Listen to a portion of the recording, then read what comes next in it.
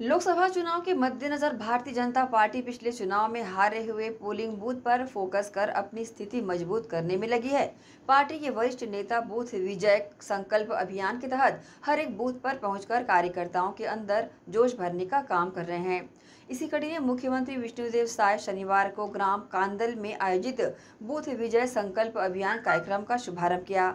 मुख्यमंत्री विष्णुदेव साय ने कहा कि पूरे छत्तीसगढ़ में बूथ विजय अभियान का शुभारंभ हो रहा है। भाजपा का झंडा घर घर में लगाना है और भाजपा को जिताने का संकल्प भी लेना है। कांग्रेस के नारी न्याय गारंटी का फॉर्म भरवाने की प्रक्रिया शुरू करने पर मुख्यमंत्री विष्णुदेव साय ने तंज कसा। उन्होंने कहा कि ना नौ मन तेल लगेगा, ना राधा नाचेगी। छत्तीसगढ़ में कांग्रेस से भरोसा पूरी तरह उठ चुका है। चाहे एक लाख रुपए दे या पाँच लाख रुपए देने की बात कहें, जनता अब विश्वास नहीं करने वाली है।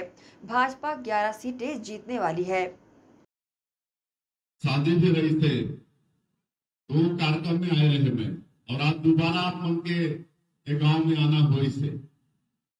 तो हमारे संजय जी, हमारे विधायक जी बताइए आप मालूम है कि लोकसभा चुनाव के संकनाद हो चुकी से और तीन चरण में चुनाव संपन्न होना है हमारे छत्तीसगढ़ में, और आप मन के ये लोकसभा रायपुर के ये चुनाव हर सात मई के है ना, तीसरा चरण में। तो मोदी जी तीसरा बार प्रधानमंत्री बनाना है कि नहीं? बनाना है ना? काबर सबका काम करत है ना? गाँव, गरीब, किसान, मजदूर। और सबका साथ, सबका विकास, सबका विश्वास और सबका प्रयास। एला मूल मंत्र मानते हुए काम करत है हमार देश के भी पूरा डंका बजत है उनके कारण पूरा दुनिया में। और सबका काम होते एक लिए तीसरी बार हम उनके नरेंद्र मोदी जी ला प्रधानमंत्री बनाना है। तोला उन्हें आप भी सहयोग करना है। तो सहयोग करना है तो ये क्षेत्र से सांसद पिता के भेजना पड़ी ना। तो कौन प्रत्याशी है ये क्षेत्र ले।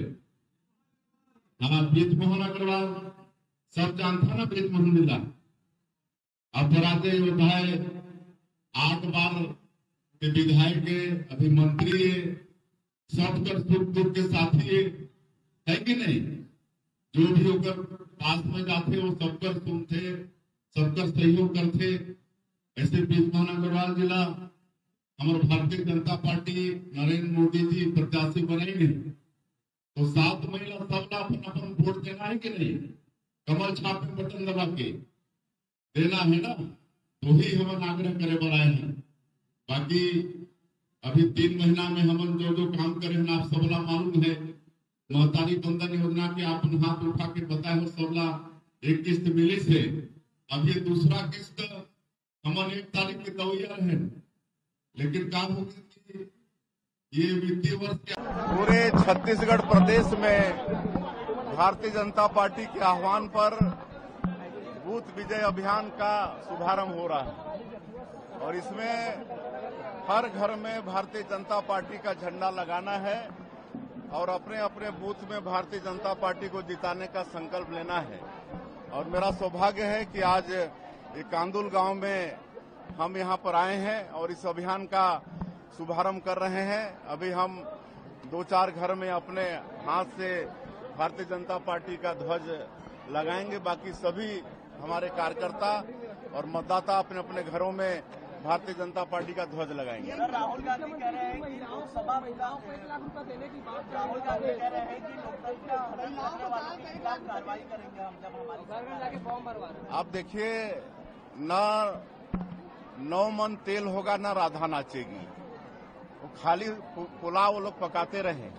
अब, भारतीय भारत की जनता का विश्वास कांग्रेस पार्टी से उठ चुका है और छत्तीसगढ़ में तो पूरी तरह से उठ चुका है, क्योंकि पाँच साल ये लोग सिर्फ़ ठगने का काम किए हैं। अब ये लोग चाहे एक लाख रुपया देने की बात कहें या पाँच लाख देने की कहें अब जनता इनकी बातों पर विश्वास करने वाली नहीं है और हम लोग 11 की 11 लोकसभा सीट भारतीय जनता पार्टी को जिता के दे रहे हैं।